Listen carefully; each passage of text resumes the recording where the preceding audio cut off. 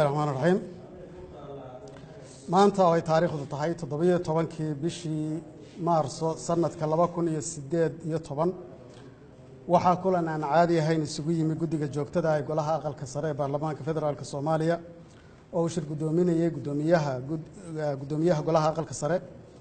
Kulankaas oo ku saabsanaa xaaladda ka soo cusboonaatay golaha shacabka ee baarlamaanka federaalk soomaaliya golaha aqalka sare wuxuu guddoonsaday inuu ka qayb qaato xal u raadinta khilaafkaas.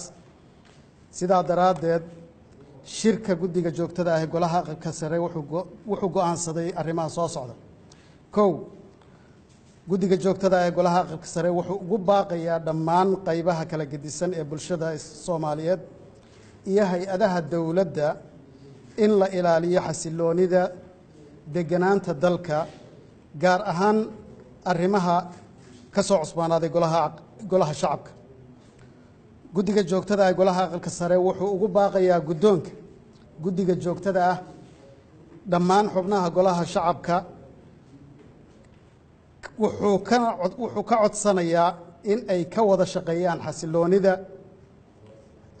xasiloonida golaha iyo in wixii khilaaf ah ee ka dhex jira xubnaha golaha shacabka lagu xaliyo si waafaqsan dastuurka iyo xeerhoosaadka xeerhoosaadka golaha shacabka?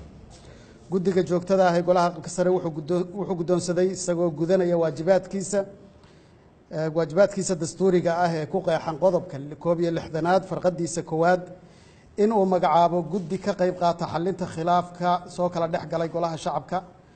Guddigaasi waxay kale yihiin senator cabdi xaashi cabdulaahi guddoomiye senator mawliid xuseen guhaad xubin senator samsam ibraahim cali xubin senator cabdi xasan cawaale qaybdiid xubin.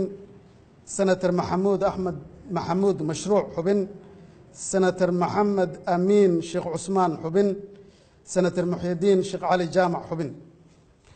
Qodobka afraad guddiga joogtada ah ee golaha aqalka sare wuxuu ugu baaqayaa dhammaan dhinacyada uu khilaafku ka dhaxayo in ay gacan buuxda ku siiyaan guddiga la magacaabay ee golaha aqalka sare sidii xaaladda ka taagan golaha shacabka loogu soo celin lahaa xasiloonidii iyo deganaanshihii uu ku sugnaa golaha shacabku in khilaafka ka hor waa mahadsantihin